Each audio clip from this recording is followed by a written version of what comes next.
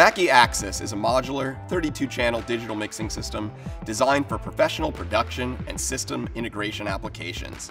The Axis system will significantly improve your workflow speed. This is possible by leveraging immense visual feedback and unmatched customization. Axis is comprised of two major components, the DL32R rack mount digital mixer and the DC16 control surface, networked via Dante, all controlled by the powerful Master Fader control app. In this video series, we will cover the features and functions of the system, exploring how Axis delivers incredible solutions for your applications. We'll talk through the benefits of a modular system and why Axis does it better. We'll go through all the numbers, discussing the I.O. flexibility and DSP horsepower that Axis provides. We'll show you why the DC16 control surface's innovative design drives workflow speed.